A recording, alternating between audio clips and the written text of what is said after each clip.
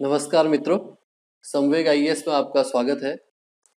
आज का जो वीडियो है, वो उत्तराखंड राज्य के जो बजट पास हुआ है 2019-20 का, उसमें वाटर बॉडीज के संरक्षण के लिए और पेयजल के लिए क्या प्रावधान किए गए हैं, उस पर बेस्ड है। तो बात करते हैं, सबसे पहले राज्य सरकार ने पेयजल, जल संवर्धन और सिंचाई के लिए अनेक जनपदों में जलाशयों का निर्माण किया है। जिनमें अगर बात करें तो देहरादून में सूर्याधार झील, पिथौरागढ़ में थरकोट झील, चंपावत में कोलीढेक झील और अल्मोड़ा में गगास नदी, इन पर जलाशयों का निर्माण प्रारंभ हो गया है। इसी तरह सरकार ने कोसी, बिंदाल और रिस्पना नदियों के पुनर्जीवीकरण की दिशा में भी गंभीर प्रयास किए हैं और सरकार इस दिशा में प्रयासरत है। अगर हम बात करें सोंग बाँध पेयजल परियोजना की। तो सोंग बाँध पेयजल परियोजना देहरादून जनपद के लिए आगामी आने वाले समय में एक वरदान साबित होगी। यह आगामी जो तीस वर्ष हो, जो आने वाले जो तीस वर्ष हैं, उसमें देहरादून जनपद के लिए, देहरादून नगर के लिए यहाँ पे निर्बाध रूप से जलापूर्ति सुनिश्चित की जाएगी इस बात इस सोंग बाँध पेयजल परियोजना के माध्यम से। इसके तहत जो देहरादून जिला है, वो 24 घंटे तक वाटर सप्लाई वहाँ पे 24 घंटे वाटर सप्लाई सुनिश्चित की जाएगी। और ये जो प्रोजेक्ट है, ये लगभग 350 दिनों में पूरा होगा।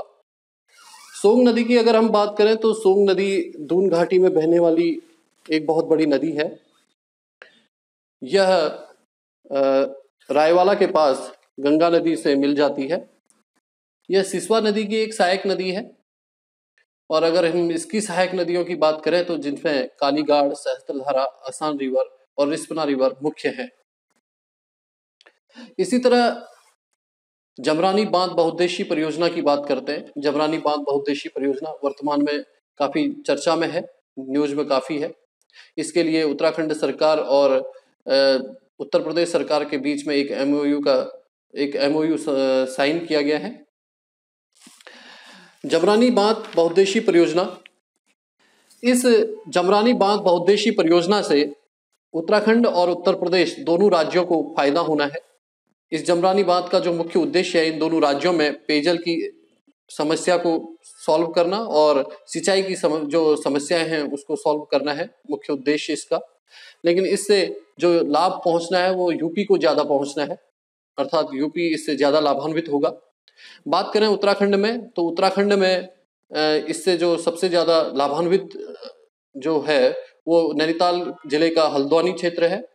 हल्द्वानी शहर इसके इस परियोजना से ज़्यादा लाभान्वित होगा और हल्द्वानी की जो पेयजल समस्या है, उसका इसके माध्यम से निदान हो सकेगा। अब हम बात करते हैं नगरीय क्षेत्रों में सीवरेज व्यवस्था की।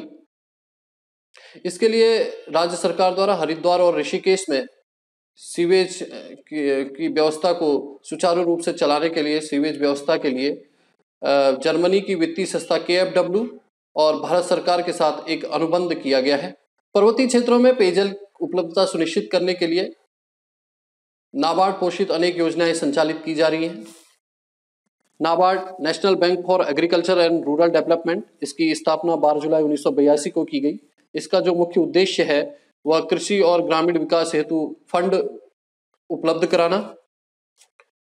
तो इसके तहत जो योजनाएँ चलाई जा रही हैं, उसमें है टिहरी के अंतर्गत अकरी बारजुला पंपिंग पेयजल योजना, पौड़ी के तहत चिनवाड़ी डांडा और भैरवगढ़ी पेयजल योजना, चमोली ज़िले में ग्वालदम पेयजल योजना, उत्तरकाशी में किशनपुर पंपिंग पेयजल योजना, अल्मोड़ा में चांदी खेत पंपिंग पेयजल योजना, शक्तिपीठ पेयजल योजना रथखाल सिमस्टाना पेयजल योजना और कोसी बैराज से मटेला पेयजल योजना। इसी तरह बागेश्वर ज़िले में गरुड़ पेयजल योजना और पिथौरागढ़ के तहत चौकड़ी ओडियारी पेयजल योजना चलाई जा रही है। इसी तरह जो आने वाले साल हैं, उनमें नाबार्ड द्वारा वित्त पोषित जो निर्माणाधीन योजना है, उसके सापेक्ष लगभग ग्यारह बस्तियों को लाभान्वित किया जा सकेगा। नमामि गंगे योजना, जिसके माध्यम से गंगा और उसकी जो ट्रिब्यूटरीज हैं, उनको प्रदूषण मुक्त करने की दिशा में सरकार एक अभूतपूर्व पहल कर रही है।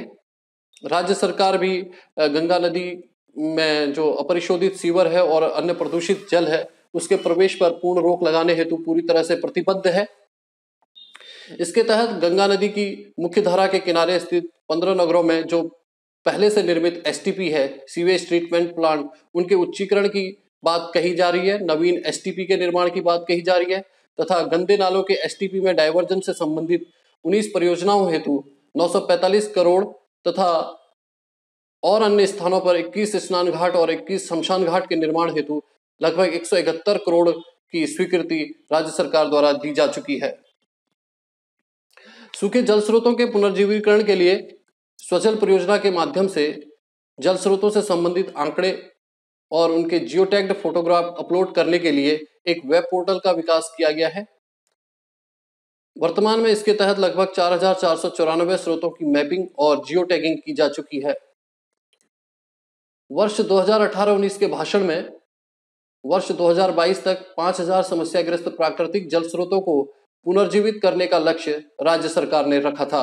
वर्षा जल संरक्षण के क्षेत्र में विभिन्न योजनाओं के अंतर्गत कैंपा योजना में जल संरक्षण कार्य के क्षेत्र में 1948 जल कुंड 2217 चेक डैम तथा 1235 हेक्टेयर वन कंटूर एवं 700 चाल खाल का निर्माण किया गया है।